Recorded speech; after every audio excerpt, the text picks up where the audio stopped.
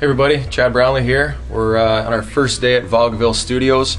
Um, just started mixing Hood of My Car with Paul Chateau. So come check out the console with us.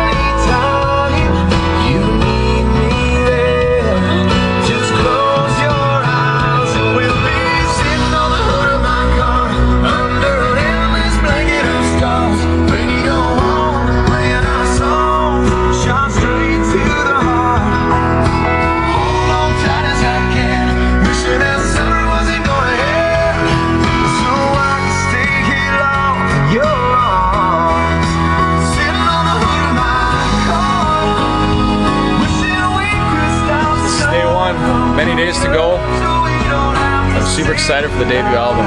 Thanks, guys.